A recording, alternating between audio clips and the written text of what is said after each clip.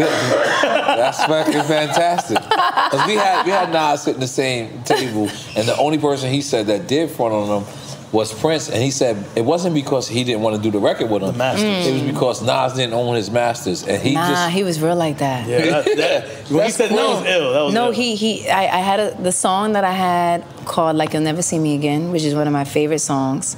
Uh. It does have a progression very close to Purple Rain, right. And I had to go see him. I flew out to London.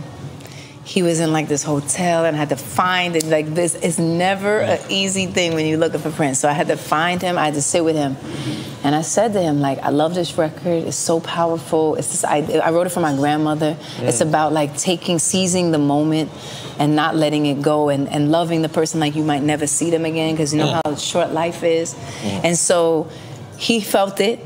He was good, and he was like, Alicia, I'm not sending these people's children to college on my shit. this shit is deep. Whoa. And he said that to me. I was like, how could I argue? You know what I mean? Like, how could you? I was like,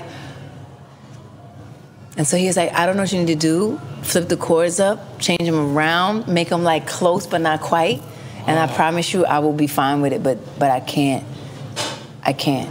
We have to. We have to own our shit. Ah. He was he was definitely way ahead of his time. that. He was Right. way Yeah. ahead of his time. Like I feel like he would have flourished now.